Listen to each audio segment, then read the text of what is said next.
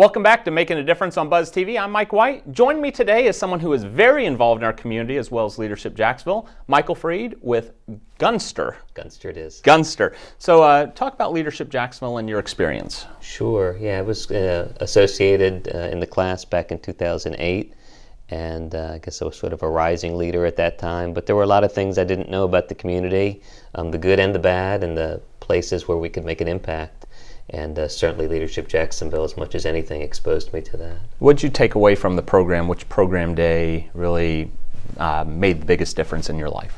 Yeah, I think long term, or at least to this point, really being exposed to homelessness, sort of hidden pockets of homelessness and, and indigency in our community.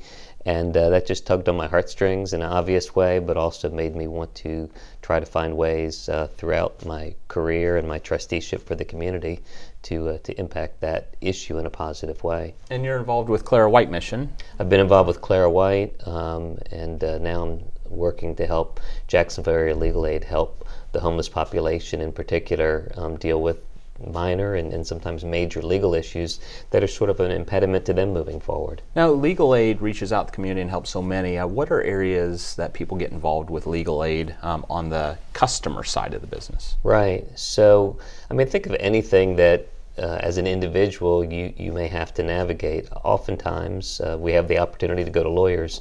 There is no right, like there is on the criminal side, to go to a lawyer and have a lawyer represent you in navigating things like landlord and tenant disputes.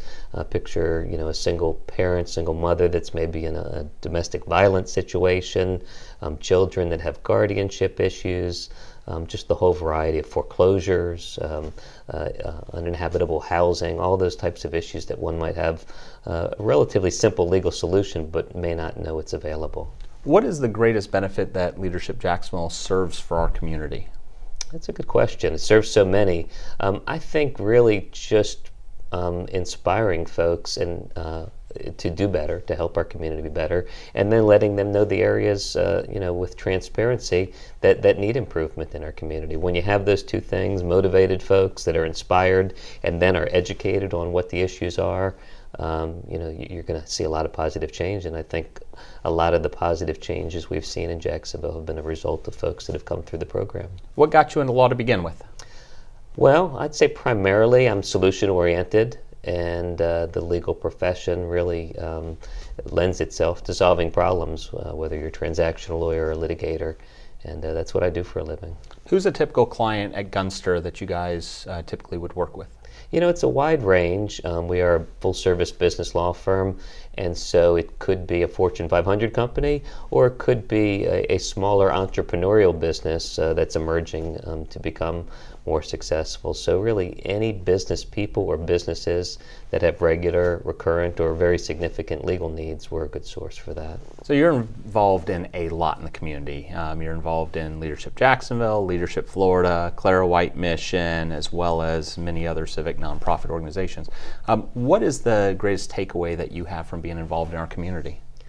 Well, I think uh, it's a great community that, that can get even greater. I think what I like about Jacksonville is the opportunity to have an impact um, is significant. Um, you know, if you live in larger communities, and I grew up in the Washington, D.C. area, you can certainly have an impact, but generally you pick one thing, you do that one thing, and, and, if you're lucky, then, you know, that could be part of your legacy. You can actually move the needle. In Jacksonville, I find that you can be involved in a lot of things, and you can move the needle on a lot of things.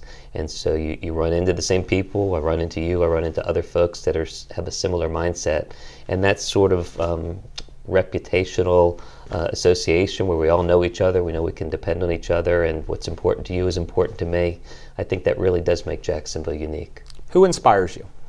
Well, my wife, as much as anybody. Um, she's the most passionate person I know, and I would say before I met her, I, I um, did a lot of things and I had ambitions, but I really hadn't combined that passion uh, with everything that I did. And, and she's uh, certainly taught me the way to combine those two qualities and to, to have a much more of an impact and much more of an authentic, genuine impact. When you are not working, what relaxes you? Well, we have five children, so I wouldn't say that relaxes me on a daily basis. No, it's the start of school, and uh, that's not relaxing right now. But uh, But there's certainly components of it. Just sitting and reading to my children. Uh, running is a big part of what I do now because one of my biggest fundraising uh, opportunities. I run six marathons in six days from Tallahassee to Jacksonville, and so in order to do that, I need to train. So I get up four or five o'clock every morning and go running, and that, that certainly is a relaxing part of my day. is there anything that you see that Jacksonville is missing in your travels um, that would make us a better community? You know, I, I think what uh, we need more of is what I would call stick to itiveness. Um, we have a lot of good ideas as a community and different segments of the, the business and philanthropic and nonprofit communities do. But it seems to me that we um, start things and we don't always see them through. We encounter problems and then there's a little too much, or sometimes a lot too much finger pointing. And I think when you look at communities that have followed through on things, even when there's been adversity, um, that's what they have a way to move past the blaming and get things done. Um, I think we need to see more of that in Jacksonville. If someone wants to find out more about Gunster, where would they go? You could go to gunster.com. Excellent. Well, thank you for all you do for our community. Thank you. And thank you for joining us on Jacksonville Buzz. We'll see you next time.